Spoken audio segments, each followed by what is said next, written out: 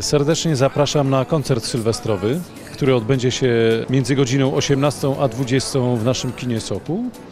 Na razie nie mogę zdradzić szczegółów, ale zapewniam, że będzie bardzo ciekawie i bardzo wesoło. A potem mniej więcej od 21.30, 22.00 zacznie się mm, zabawa sylwestrowa, jak co roku zresztą przed kinem, organizowana wspólnie przez Sokólski Ośrodek Kultury i Urząd Miejski w Sokółce. Wystąpi DJ Wirus.